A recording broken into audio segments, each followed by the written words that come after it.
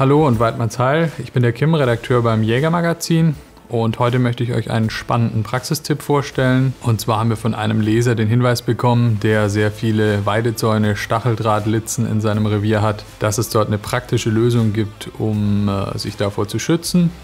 Und finde ich auch sehr pfiffig. Habe ich auch schon getestet an zwei, drei Stellen. Spart viel Geld und zerreißt die Jagdausrüstung nicht. Material, was brauchen wir dazu?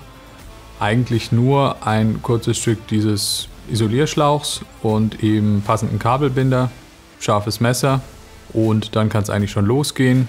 Das ganze Stück auf Länge abschneiden, im oberen Bereich fixieren und natürlich nach ein bis zwei Jahren Nutzung auch darauf achten, dass nichts im Revier zurückbleibt. Ich wünsche euch viel Spaß, ist auf jeden Fall ein cleverer Tipp. Probiert's aus und Weidmannsheim.